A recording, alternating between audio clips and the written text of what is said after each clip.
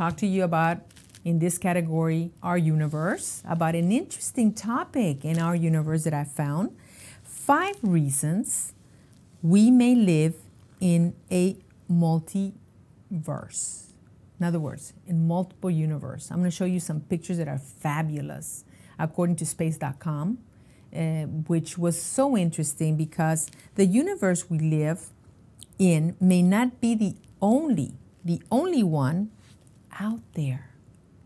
So there may be other universes, you know, and this is what they're finding out more and more, you know, that uh, we may be actually, this may be a universe, one of them, where our world is, but there may be another universe just like ours, where another world may be.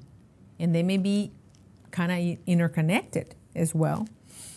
Okay, there are five reasons why we, or, you know, they have explored and they have thought that maybe, you know, there could be, uh, you know, uh, um, we may live in a multi-universe. Um, number one, infinite universes. This is what they're finding out. Scientists can be sure what the shapes of space-time is. But most likely, it's flat, okay? It's composed, uh, but in space, you know, uh, they have found very interesting uh, things uh, that uh, actually some point that we may have multiple universes because there are um, infinite numbers of ways uh, particles can be arranged in space and time. So that's why, you know, they're thinking that we could be doing, you know, that we could have multiple universes all kind of together. And I'm going to share some of these photos, which are very interesting, very, very interesting. Um, see how you can see, um, look, this is what you, see this is one universe and then this is, and you can see the world there and then you can see another universe and you can see the, another world. So this is how they feel that we're sort of connected. See, that we're sort of connected, but we don't know. You know, we, we just have to, they have to continue to be exploring those things. Um, I'm going to share some other, uh, some other photos with you in a minute. Um, but, you know, I was very, um, you know, interested to find out more about it because I thought it was fascinating. And I'm sure you find it fascinating too.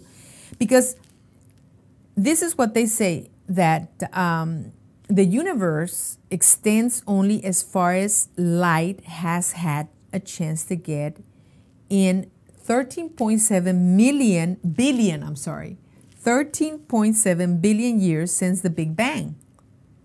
Okay? That's a lot. Can you believe that? The space-time beyond that distance can be considered to be its own separate universe. Okay, in this way, multi multitudes of universes exist next to each other in giant patchworks, um, you know, quilts of universes. And I'm going to show you what it looks like. Quilts, like they're, they're talking about here, you know. Um, um, this is what they look like. See, this is what they look like. See, they could look like that. It's like they could be like patchwork. It's like a quilt. As you can see, it's like a little quilt of universes. Isn't that incredible? So, hey, we could be right here or we could be right there. Who knows? You know, if we, where exactly here we are, and who knows if one of these universes could be heaven? Who knows? We don't know. We're, we'll be finding out more and more. I tell you, you know, we'll be finding out more and more. Another thing is bubble universes. This is really nice, and I want to show you the picture because it was so amazing. I'm going to show you the picture so that I can share with you this other picture because I'm going to scroll. Okay. Oh. Oh, I'm stuck. Anyway, let me go back uh, to my, but there's uh, like little bubbles that they look like universes. In addition to the multiple universes created by, inf- uh, you know, an infinite uh, in space and time, other universes could arise from a theory called eternal inflation. Internal inflation. Inflation is the notion that the universe expanded rapidly after the Big Bang. Okay, in effect, inflating like a balloon, like a balloon. Okay, and I'm gonna see if I can get, I can get to that for you, but um, so that let me let me show you. This is really beautiful. I want to show it to you. Look at this. Isn't that gorgeous? This is gorgeous. So that's the way they, they could look like inflatable, you know, balloons. Okay, uh, this is what they found uh, uh, in the Tufts University cosmologists. They found that they suggested some pockets of space stop inflating while other regions continue to inflate, thus giving rise to many isolated bubble universes. Isn't that beautiful? I think it's a beautiful picture in space.com. Okay. But anyway, I wanted to share that with you. And of course, behind me, you can see the universe. Isn't that beautiful? Okay, another thing could be uh, parallel universes parallel universes. Um, the reason they say that is because, and I, we had talked about that in another um, of our topics of our universe, because we have may have parallel universes where we may be doing this right here, and in another universe, the same thing is happening.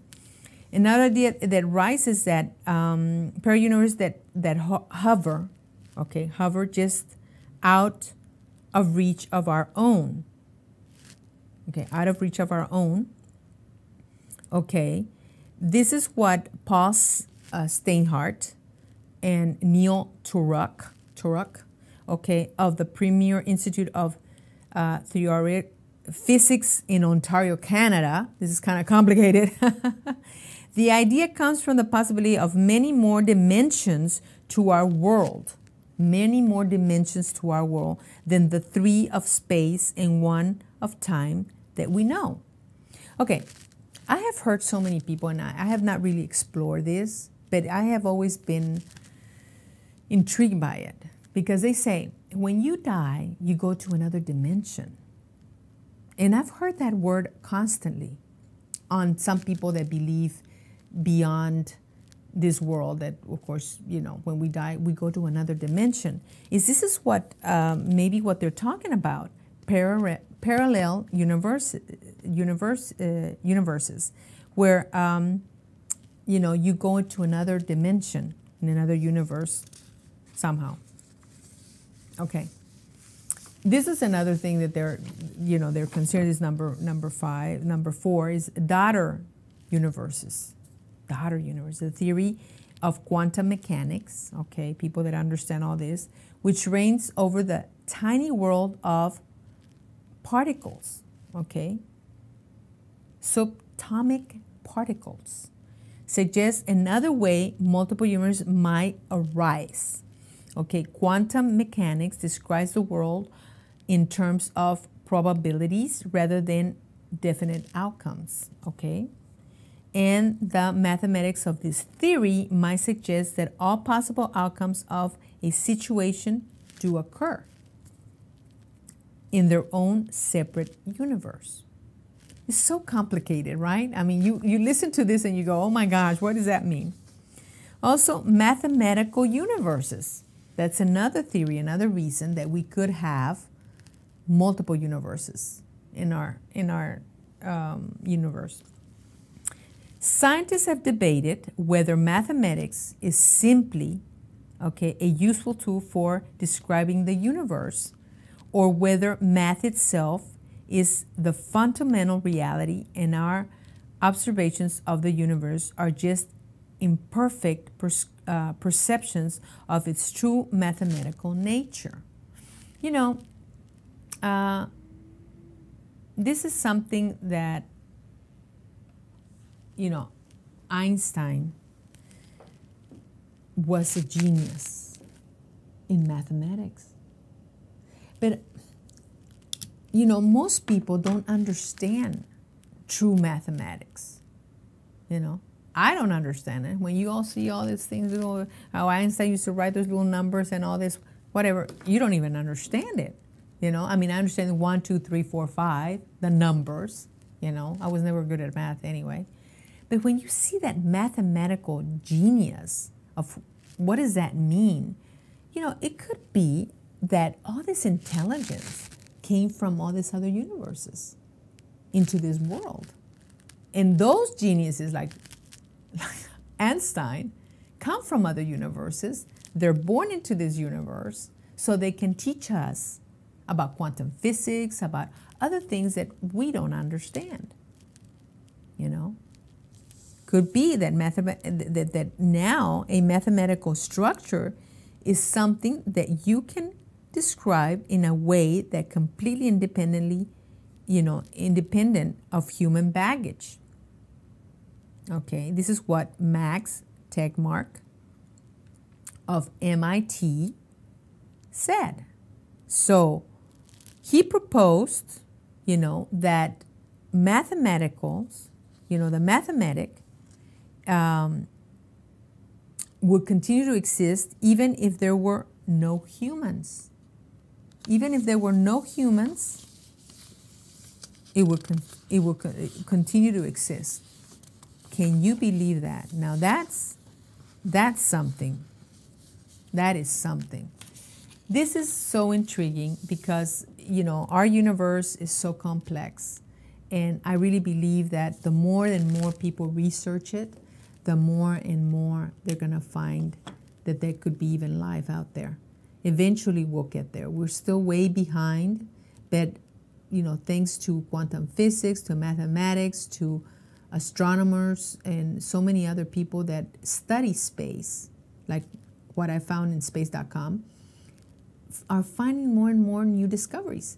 So it's so interesting to know that uh, we're learning more about our universe. And I hope you enjoyed this um, topic on our universe and those beautiful pictures. Okay. Um, just remember to always look us up, okay, in Money and Business, in our category Money and Business, True Success, um, you know, Health and Wellness, uh, World News, and of course our universe. Um, you gotta uh, know that all of us are working hard to to bring good topics for you, and all of our uh, the people that work for Believe are you know really work hard to to make this for you. Um, and definitely your suggestions, your comments are always welcome. We definitely want your comments. Okay, um, just remember to find us in believe.love, iTunes, believe.itunes.com, so you can listen to us on iTunes. And Android users, you can always find us in believeandroid.com. And YouTube, Believe Loves You. Until next time.